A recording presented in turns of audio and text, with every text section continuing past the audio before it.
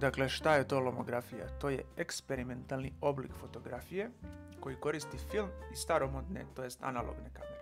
To za razliku od oštrih slika koje proizvode moderni digitalni fotoaparati, lomografija ipak daje slike koje imaju meki fokus, ali veoma žive boje i taj film je razvijen u laboratoriji na tradicionalan način.